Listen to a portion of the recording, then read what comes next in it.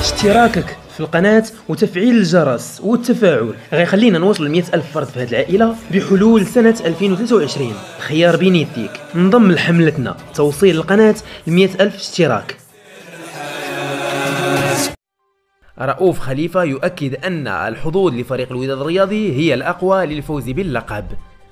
رجح المعلق التونسي بقنوات بين سبورتس رؤوف خليفة كفة فريق الوداد الرياضي في نهائي دوري الأبطال أمام الأهلي مؤكدا أن المواجهة ستحسم بركلات الترجيحية لقوة مستوى الطرفين وقال خليفة في تصريحات لجريدة الأسبوع المصرية.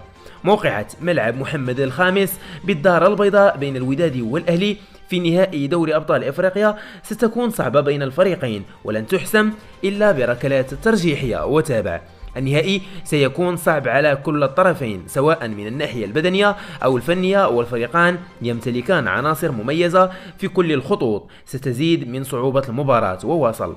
الوداد ستكون حظوظه أقوى للتتويج بالبطولة خصوصا أن المباراة ستكون على أرضه ووسط جمهوره واختتم رؤوف بالقول.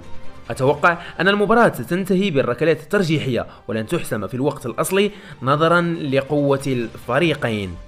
ويصطدم الوداد بالأهلي يوم الاثنين القادم انطلاقا في الساعة الثامنة مساء بتوقيت جرينيتش plus one على أرضية الملعب الرياضي محمد الخامس في الدار البيضاء. في المواجهة التي سيقودها الحكم الجنوب إفريقي فيكتور غوميز. نهاية الفيديو.